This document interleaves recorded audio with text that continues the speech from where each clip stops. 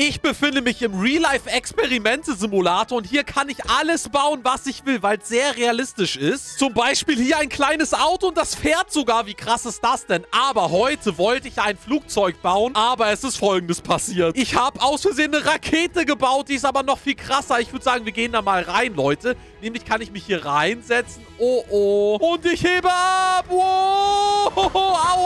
Vielleicht hätte ich erst die Tür schließen sollen. So, die Tür schließt. Wir versuchen es nochmal. Also, die Tür schließt, Leute. So, und 3, 2, 1, Lift off. Wow. Hä?